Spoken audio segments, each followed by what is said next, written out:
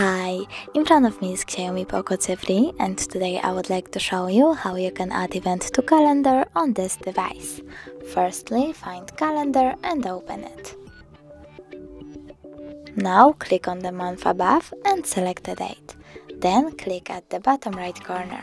Choose event and over here you can add a title. Set up notifications minutes, hours or days before. Click done choose location, tap allow,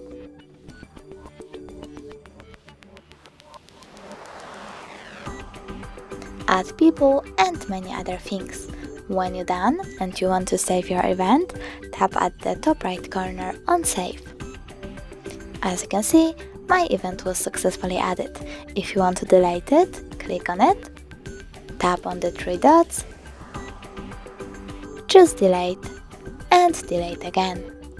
Thanks so much for watching, if you enjoyed this video, don't forget to leave a like, comment and subscribe. Bye!